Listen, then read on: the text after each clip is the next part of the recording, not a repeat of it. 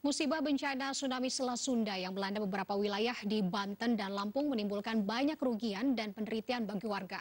Bantuan sebesar apa pun kini sangat dinantikan karena dapat membantu mengurangi beban dan penderitaan para pengungsi.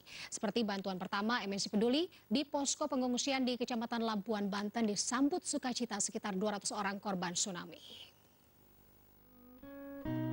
Indonesia kembali berduka Bencana tsunami yang datang tanpa peringatan menghancurkan wilayah pesisir pantai di kawasan Selat Sunda pada tanggal 22 Desember 2018 lalu. Tidak hanya menimbulkan korban harta benda, tsunami akibat longsor Gunung Anak Rakatau ini juga menelan korban jiwa. Sebagian penduduk yang terdampak bencana meninggalkan rumah dan hidup di pengungsian. Bantuan pun mulai berdatangan, salah satunya diberikan oleh MNC Peduli. Relawan MNC Peduli bergerak menuju lokasi pengungsian korban terdampak bencana.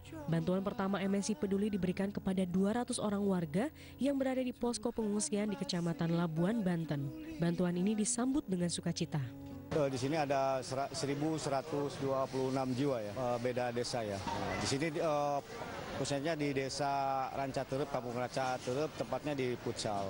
Alhamdulillah makan mah, gak kekurangan, berpasrah ibu mah, ya Allah ya. Penyaluran bantuan MNC Peduli akan terus dilakukan kepada warga terdampak bencana tsunami di pesisir Selat Sunda. Tidak hanya untuk warga Provinsi Banten, MNC Peduli juga berencana menyalurkan bantuan sampai ke Lampung Selatan. Ini pertama kali uh, eh, MNC Peduli memberikan bantuan di bencana Selat Sunda. Jadi uh, karena ini pertama kali kita sebagai tim advance memberikan kebutuhan-kebutuhan dasar daripada para pengungsi seperti selimut, kemudian uh, ada pakaian untuk uh, para pengungsi, kemudian juga handuk, ya dan ada sedikit makanan gitu. Ya diharapkan uh, dengan adanya ini bisa meringankan sedikit lah gitu. Dan ini pertama kali kita berikan di posko resmi Kementerian Sosial.